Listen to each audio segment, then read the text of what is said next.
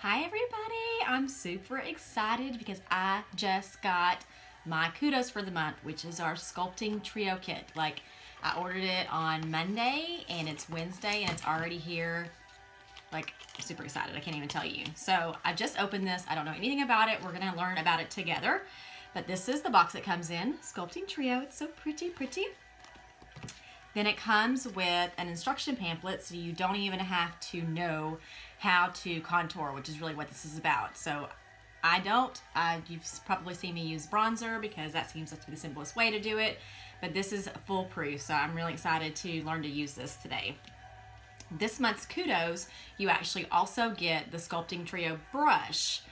Look how pretty that is. It's so soft like it's super super soft I can't explain it I don't you can't see it that it's so soft You're just have to get it yourself to feel it but this brush is actually um, retail going to be $32 when May is over so right now you can get it for free so you get the sculpting trio kit for $49 this comes free so you're saving $32 of course I actually got it less than that and if you want to know how I did that let me know and I can certainly help you with that so I'm gonna open the box it's like Christmas so excited. I didn't think the mailman was going to bring it to me today. Like, it's a big deal. So there's three different um, sets of shades. There's light, medium, dark.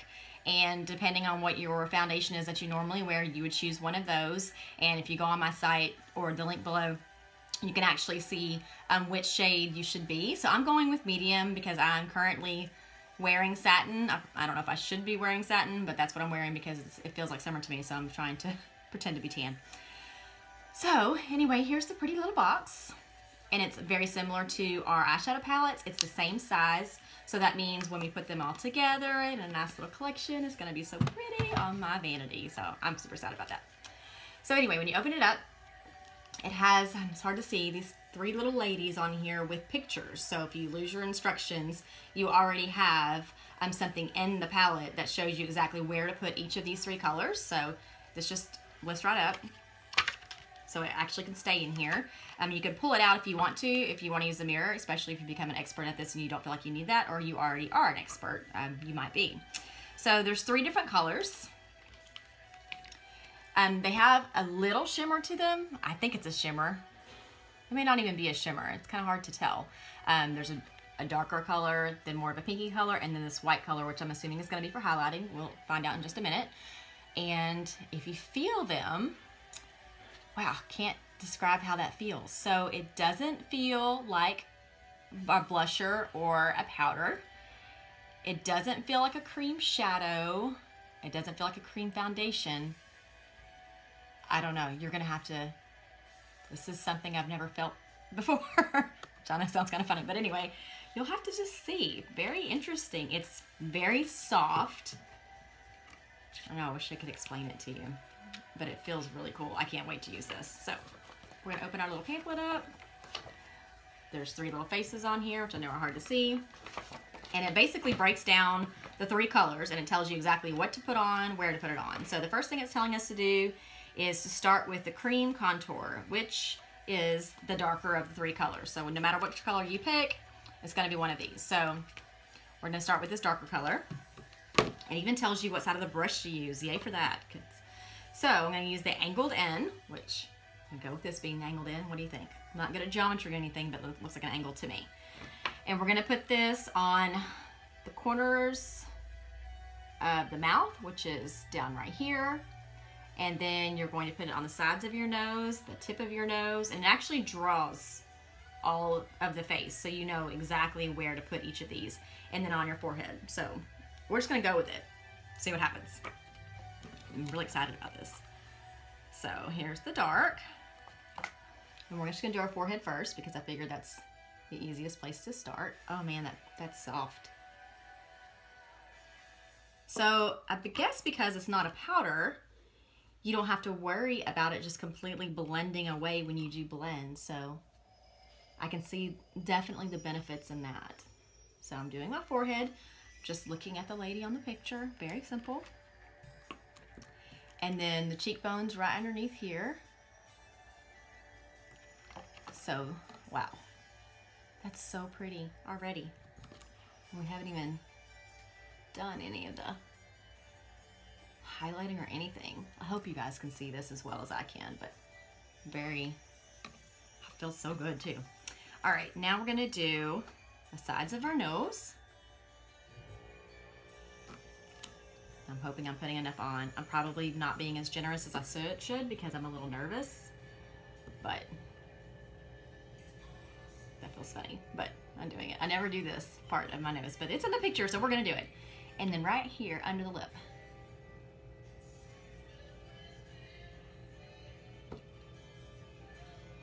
And I can't forget these sections. That's really funny that this is how we do this because back in the day I was always worried about having a makeup line right here. But now that's something you almost do on purpose because it really does slim your face. It's shocking.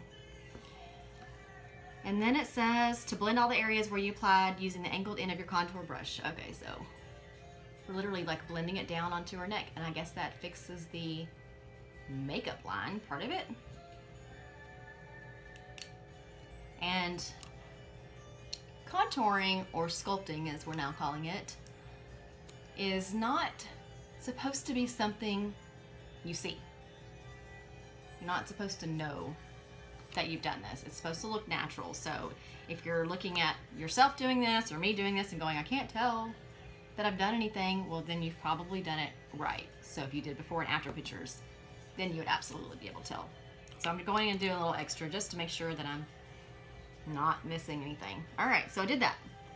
Now, using the paddle end, we are going to do the highlighting pieces. So this looks pretty simple.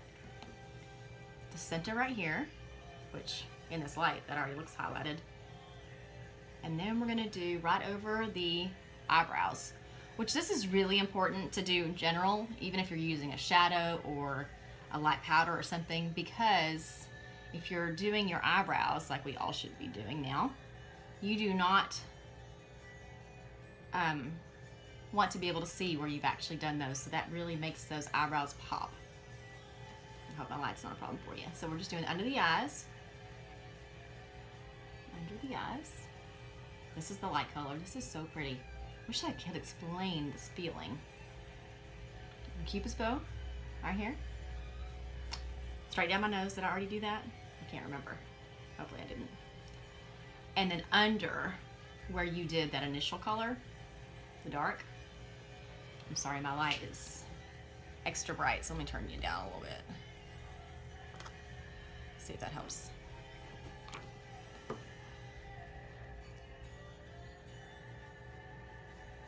And then she does it right here. A little person I'm looking at.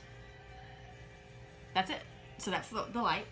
Now, this next color, which is, in my palette, it's the medium shade. It's almost like a, wish I could, uh, this is not coloring right. It's almost like a pinkish brown. I'm Not sure. It's the one that looks like it has a little shimmer to it, but I don't know for sure if it's a shimmer or just the texture of the product. But Anyway, we're gonna take this, and this one says to apply with your fingers, which I never do anymore, so it's like old school. Oh, that feels so nice. There's definitely a shimmer to this. Okay, so this goes straight down. So when I did this stuff down my nose, I actually did a broad stroke, and this is just a tiny little line straight down my nose. And then a very tiny line on your cheekbones. Yep, there's definitely shimmer in that. That's so pretty. And your cheekbones. A little bit right here, not a lot. And then underneath your eyebrows again. So if you're using our brow kit, you're probably already putting something light and shimmering like our sexy mineral, mineral pigments under there. But if you aren't, you should be. And this is a perfect little set so you don't even have to think about it. Okay, so those are done. And then it says using your fingers will warm the 3D cream. Wow. Okay, so apparently if you're using your fingers, it literally the temperature in your fingers melts that cream. So it automatically blends. so you don't even have to go back and use your blending buds or anything to do this. So that's that Kim Kardashian cheek. So pretty easy. I think I could probably have put on more of this brown here, but that's just me. You don't have to if you don't want to. But I like to look as slim as I can possibly look. And look, those cheekbones are just drawn right there. So I would have expected to have to go back and blend, but everything I'm reading, you don't have to. And looking at my face, I don't feel like I need to. This looks very natural, um, other than the highlighted cheeks. I guess if you had that summer glow, you might look like that, or some of you already glow. Some of my clients just glow naturally.